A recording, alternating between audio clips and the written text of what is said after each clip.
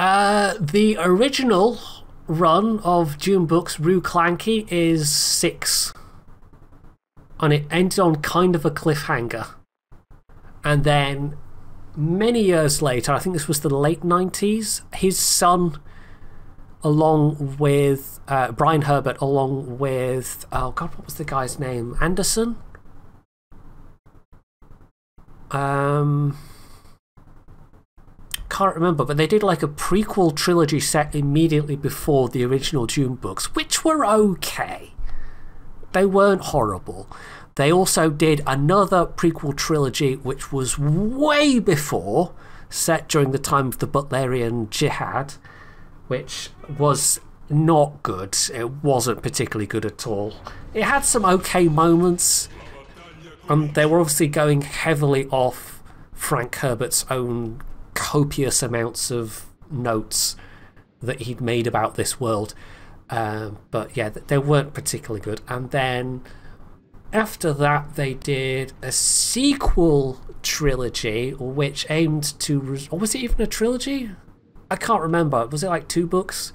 It basically um, aimed to resolve the cliffhanger that was left at the end of the original Dune six books.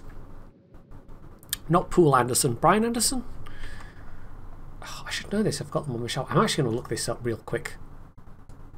Um, is it Kevin Kevin J Anderson? No, that's not right. Something Anderson. I'm sure of it.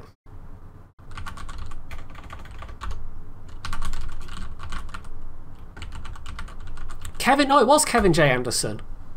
Oh, I was right. Okay. So yeah, Preludes of, of, to Dune was the kind of immediately before set one, which was fine. That was that, that trilogy. And then Legends of Dune was the one that was set way back when, which was supposed to explain the great rivalry that uh, happened between the Harkonnen and the Atreides, and it kind of it, it kind of sucked. Uh, Hunters of Dune and Sandworms so it was a pair of books which was supposed to follow on from Chapter House Dune, which was the original sixth novel.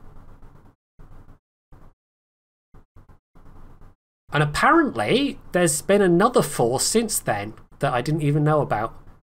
Heroes of Dune, which take place between the first five novels of Frank Herbert's original series, but only two were successfully published, and so the Inter prequels ended in 2009. So they only did two of those, even though they planned four. Right, okay, so they've done a bunch of Dune stuff. He was kind of um, riding on his father's coattails a bit, shall we say. But yeah, in terms of quality, don't really compare to the original. Pam Anderson, yes, yes, well known sci fi author Pam Anderson. I don't know, maybe she's a huge sci fi fan. Could be for all I know. Sometimes surprising things come from surprising places. Oh, well, dude, that's one of Clyde's a lot. Nice. 11k on an angled battleship. Take that. Uh, new question: Are armory coal ships cyclical, or do they get turned to gold permanently? Um, it kind of varies. Like they they shuffle ships around from time to time, so you never really know how long ships are going to be in the armory for a given resource. The uh, research point ships seem to be have been like I don't think we've had any changes there, especially. But things like free XP ships and coal ships are possibly subject to change. I don't know if there's been any that they've taken out and then sold for gold. Sometimes when a new one is added, they will sell it as well to begin with in some kind of package.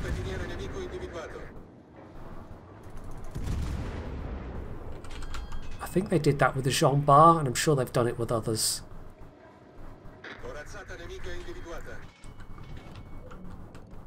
I'm interested. Do I have a Discord server? I have one set up for the top level of my Patreon supporters. That's about it. Just as a way to easily communicate with them. Otherwise, um, people, Patreon supporters tend to just, like, the rest of them could just PM me through Patreon. I check that fairly frequently. But I don't I don't have like a community thing set up or anything. I guess. I don't know. I already have so many Discord servers on my um, you know thingamy list that it's kind of I only keep track of a couple of any any given time. So then managing all of my own on top of that would be I don't know. I'm just too lazy. Let's just just chalk it up to being too lazy.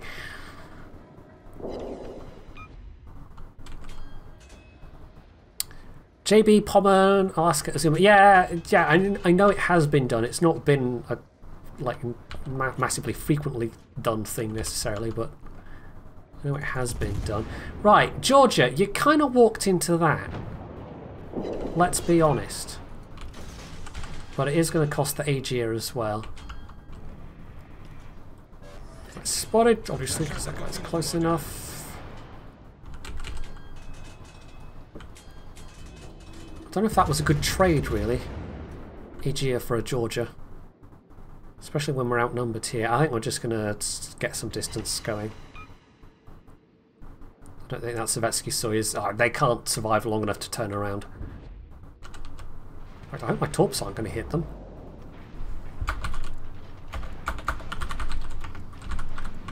we went for the Aegir, and now the now the Soyuz is diving forward, so that's good. Is appreciated. That's not what we wanted.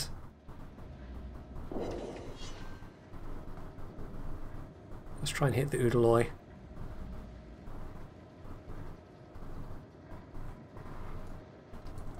It's the disadvantage of particularly slow torpedoes is sometimes you get it's it looks fine and safe when you actually fire them and then somebody goes forwards and suddenly it's not fine or safe at all. Right, yeah, this is definitely runaway, but we seem to be, again, winning extremely hard. Look at this team list. We basically play a, a kiting game here.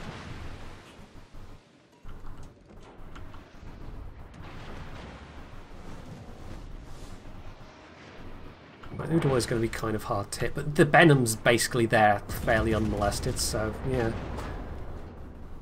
Just nice when you're in a Benham. Nobody knows that you're there, and you've got a nice lot of fat battleships to ping torpedoes downrange at.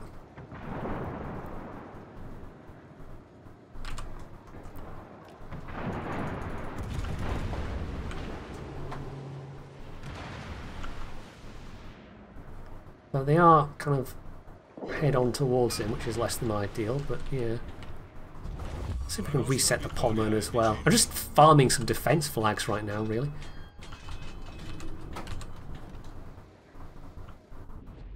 Okay, so they've seen the Benham, and understandably are quite interested in tackling the Benham. Yeah, I think Udaloy I mean, SAP is just good against destroyers anyway, but doesn't Udaloy have a decent amount of armor, or am I just thinking of the Khabarovsk?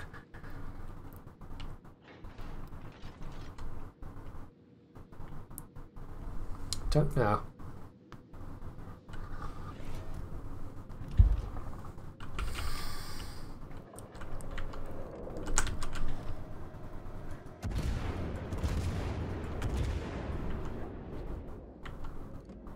Do a little more damage. Now I stepped on the brakes. Might still clip him though.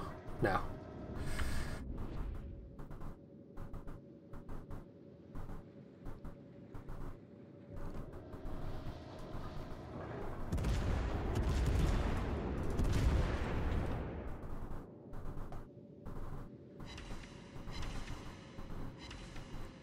Nice.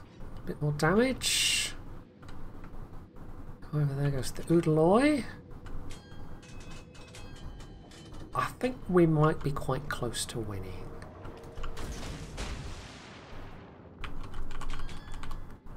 He's popped out of his smoke. I get to farm some more damage on the Iowa, perhaps.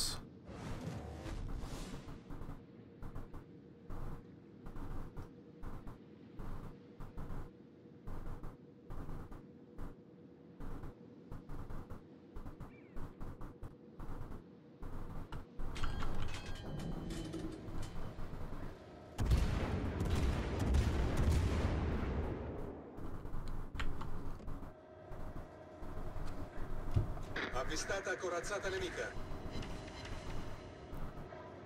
I don't think this pommer is going to last too much longer.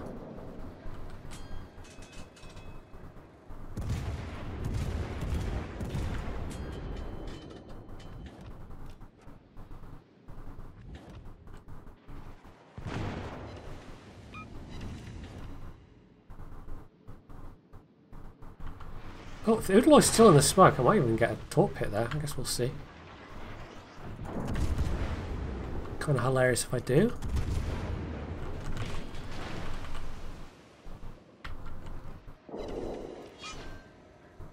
Right, this is not going to be high damage, but with the number of defense flags I've got, it might be at least quite a decent score.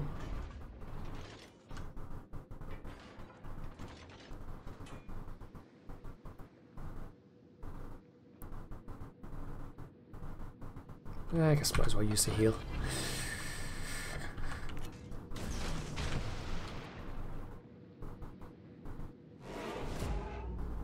Oh no, they've capped. We're definitely going to lose now. yeah, the rest of our ships are looking pretty healthy, to be honest. So.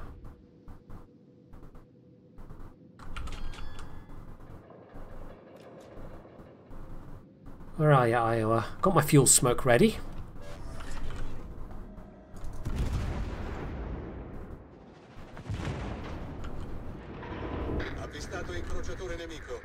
Drake.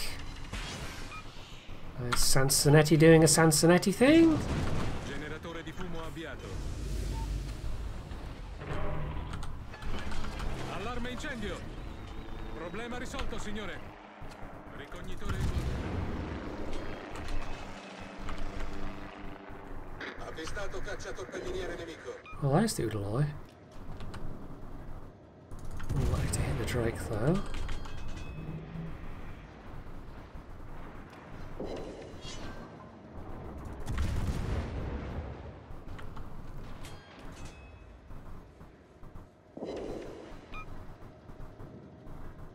He's really not moving fast.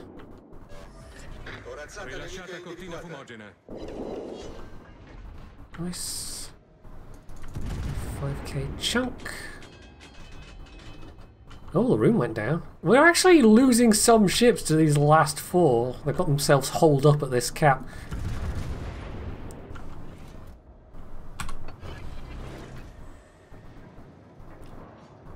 But, you know, we're just waiting for our heavies to come down the map at this point. I think part of it's just practice, and also, you know, sometimes if I get distracted, I definitely play a bit less well. Changing latitude. Latitude? Latitude. Was there supposed to be an E on the end of that, or not?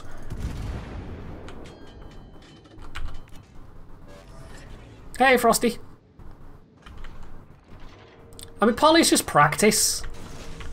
Streaming is definitely practice, and overall, I notice I play better when I'm just playing and able to fully concentrate on just playing. The trick is playing good enough to be entertaining when you're streaming.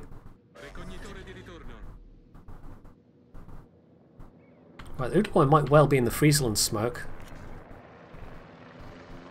First game in the Pensacola. Yeah, the guns are a huge upgrade.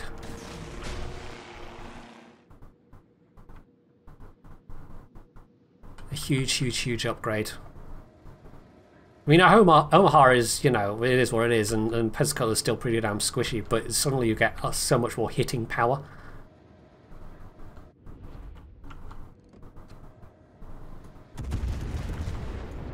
Like that. Hasn't got me. Oh, no, there we go. Spotted.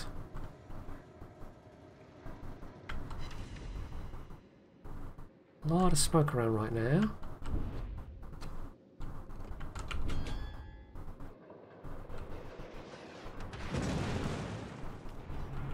Okay, there's the Udaloy.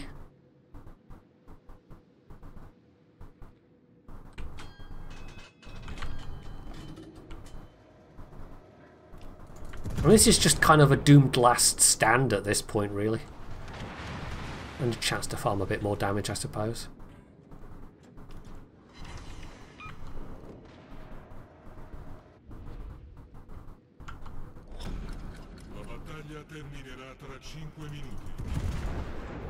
Right.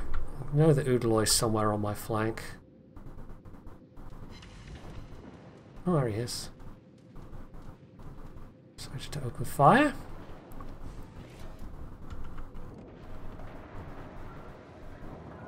Yeah, I mean, yeah, even a 25 mil bow, you know, that's that's a pretty good deal at tier 6. It's still squashy, but a hell of a lot less squashy than an Omaha. There's not too many things that are quite as squashy as an Omaha. Apart from, you know, all the other tier 5 cruisers. La nostra vittoria è vicina. Nice, and a kill. Incrociatore nemico affondato. Oh man, that guy just started accelerating. Yeah, this is always going to be hard.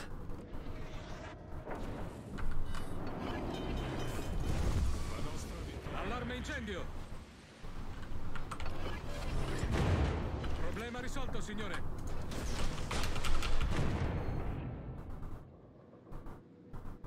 Right, let's use this last smoke to make a little turn.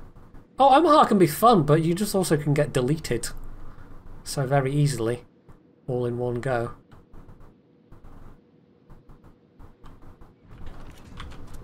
Oh, he's very low health. Burning nicely. Goes.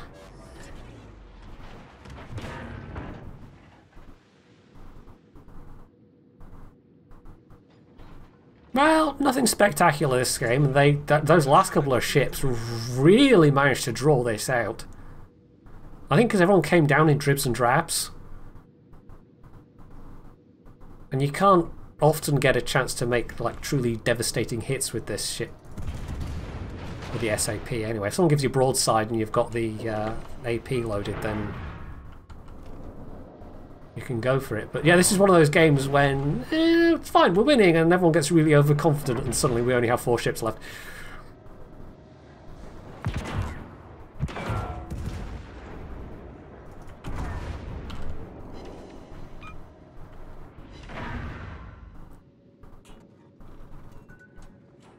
Ooh. Can I? Nope, gonna take that in the nose, that's fine. Alright. Oh, falla nello scafo, stiamo All imbarcando right. molta acqua. Problema risolto, signore. Oh, Almost got my last heal back, and there's the kill. Caccia torpediniere nemico affondato.